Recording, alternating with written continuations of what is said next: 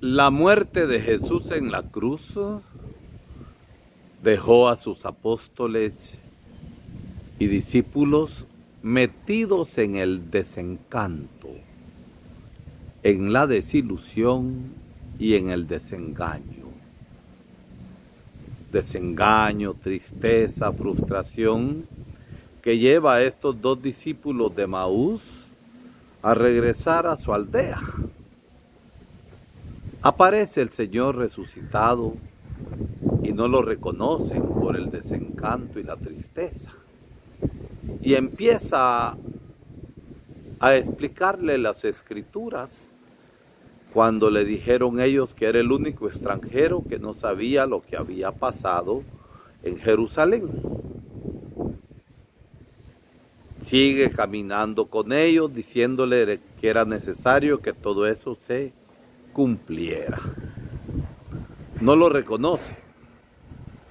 Llegan a Emaús y Jesús resucitado hace el mate como que sigue de camino. No te vayas porque oscurece. Quédate con nosotros.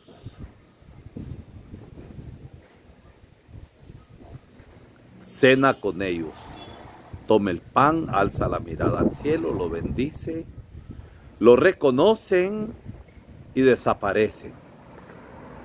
Con razón nuestro corazón ardía cuando nos explicaba las escrituras y desantan el camino de la desilusión y de la tristeza y regresan con los apóstoles a decir que el Señor había resucitado.